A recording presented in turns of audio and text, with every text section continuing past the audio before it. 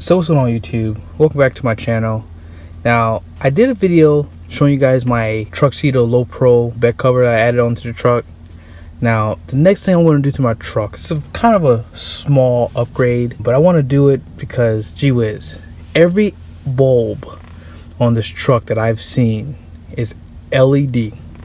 I mean, even inside the interior, if you look at the headlights, every bulb inside the limited trim package and Longhorn trim package have LED headlights, LED fog lights, turn signals, front and rear. Even the even the license plate lights that come in the truck have LED lights. When I opened the top compartment up front, I noticed there's an LED right here. And then when I opened this bottom one, I saw that they cheaped out and put an incandescent bulb in there. So we're gonna change that bulb out. Now, actually, I don't know what bulb this is actually, but I'm gonna assume that it's gonna be the same bulbs that they've been using for years. And I'm gonna put my LED bulb in there now. So let's get started. So what I have, this is just my little plying tool I use uh, for all my needs if I need to take off my door panels or something like that, although I haven't done that in so long. I probably wouldn't even attempt to try it on this truck. This this looks pretty. This looks really tight. I'm pretty sure you have to take off this little panel. But this is not what we're talking about today. We're talking about this. So let me go ahead and see if I can pull this off and then I'll show you guys what it looks like when I take it out. So really easy to get this out. All you have to do is just kind of go in at the where where it curves at the front. You go in right there with this tool and you just kind of put a little bit of pressure to it and it pops out. So this button right here, it turns the light on and off when you close the compartment.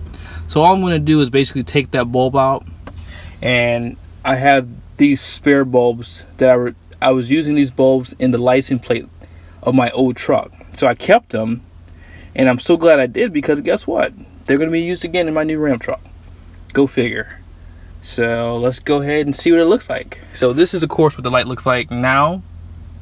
And and this is what the white LED this is basically a crisp white. It should actually, yeah, it matches the LEDs inside the interior really good. But there you go. So I'm gonna go and slip this back in. All you have to do is just, you know, you don't have to jam it in there, you know, take your time, put it in there nice and neat, and look. Now you have a perfectly nice white light. Now that's gonna be a 194 bulb. Uh, I I have a ton of these that I bought for my wife's car, and I think I bought like the last closeout sale that they had of these bulbs. They don't make these bulbs anymore. They actually make a little bit better bulb now. But hey, these were like five bucks, I believe. Actually, I think they're like maybe a little bit cheaper than that. And these are like the, the last bit of them.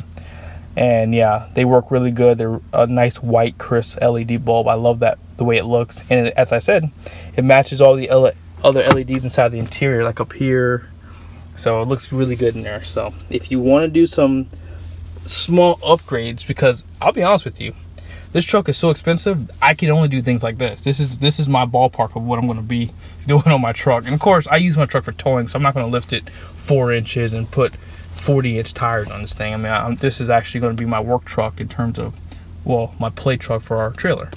But there you have it. If you haven't had a chance yet, subscribe to the channel and please like the video. See you in the next one. Later.